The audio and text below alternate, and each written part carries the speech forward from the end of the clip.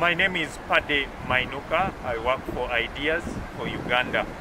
Now we have gotten upstream River Nyamwamba and this is how it had to open up this place and brought boulders. The stones you see are from uh, on top of, the, of Mount Rwenzori and uh, when it floods it pushes all the stones down and uh, this is what you see and uh, when it gets down downstream where we just came from uh, it, it's flat and it, it, overfloods and goes into the communities where people live but these are the stones that it brought from uphill this was an orange farm but you can see how the river ravaged the whole farm to look like this. The oranges have since dried.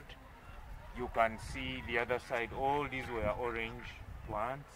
These were orange trees, but uh, they have since dried because of River Nyamwamba overflooding and destroying the whole farm.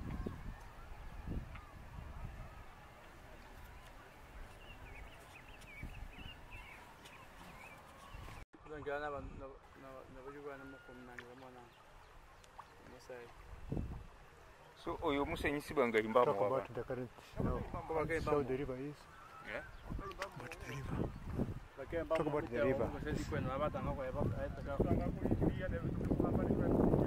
Uh, what can I speak? ale eje wangala chikolo flooding, it becomes so dangerous.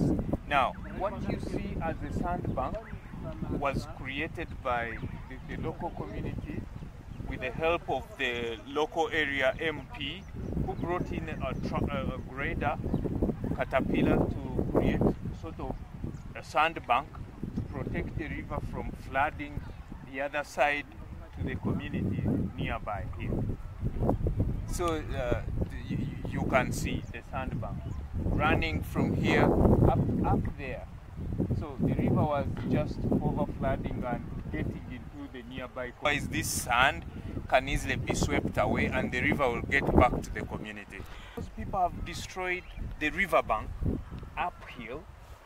That's that's why the river is now wild and flowing wherever it, it wants to move because the riverbanks have been destroyed by poor methods of farming. People farm up to the water, and, and, and the vegetation that protects the river or, or slows the, the, the, flow of the river, the speed, has been destroyed, and now the river just flows anyhow and gets to where it needs it, it wants to go. These are buildings that were once occupied by people before River Nyamwamba flooding. But right now, as you see, they are submerged by, by water. And uh, what residents have resorted to is remove the iron sheets so that they can try building elsewhere. You can see the power line that was supplying power to the building, but now the poles are also submerged. So really, this was too much for this community of Kanyangeya. Ha. Tugende. Amazina. amazina ganjye ni nyenyongera meri omukayikuru wa kanyangeya. Emeka mingahe? nkijayo cyenda n'ebiri. Mazireyo obwire bwingi mbere nyine ekibanja kyangye n'amaka amaizi gatutahirira amaju gagwa ekibanja kyatahwamu amaizi. Kika kirimu orutoki kirimu ebicoori kirimu ebihimbo kirimu ebitakuri. Mbere ndi omukayikuru omuhingi aha myaka nkaaga na mushanju eyinyine konka hatiya tinkiine kyokukora ndi omukazi ndi omukayikuru efakazi omushaija akafa yansigira abaana mwenda. Naborora aha magezi ganye ndi kuhinga konka hati tinkiineho kuhinga abaana bakura bashwerwa abashaija bashwera konka omuka ndimu nyenka amaju ganje goona gagwire gawaho hati nintaho omu kampu tinyineho kurara ninshaba This is not war that has brought these people to this camp. It is just the effects of climate change in the Kasese district that have gotten these people to live in these tents. So, really, they need help for them to get out of here. It's not a good situation here. They don't have sanitary facilities here. There are no toilets, there are no latrines. So uh, the children are in danger of getting uh, water diseases. kind of IDP camp, as you are seeing the situation here, as I told you the other time. Now this is the tents we have, we are using as, as houses. Now we can see the situation here, as I already told you the other time, that we are now having a total number of uh, 917 people are living in this camp. So with a total household of 292. Now we can see the situation we are living, others are there cooking, even the kids are there. I think you are seeing them. Now I hear hereby calling the stakeholders and the other NGOs to come and assist us, otherwise the situation is not good.